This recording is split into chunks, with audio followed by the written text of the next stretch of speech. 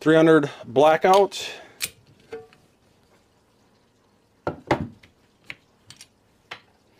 Two two three.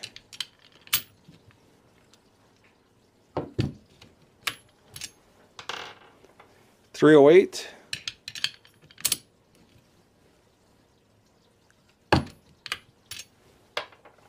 And three seventy five CheyTac. The fully adjustable EP integrations lockdown reloading block. Fully adjustable from 300 blackout to 375 CheyTac and adjust in one second.